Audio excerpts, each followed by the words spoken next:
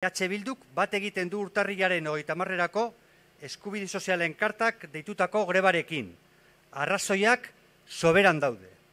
Prekaritatearen aurrean, bizi baldintza duinak aldarrikatuko ditugu. Urtarrilaren hogeita marrean, kalera aterako gara, erabaki politikoak politikoen erdigunean bizitza jartzeko. Eta hauek ez egoteko elit, elite ekonomikoen interesen menpe kalean izango gara herri duin batean bizitza duin bat aldarrikatzeko.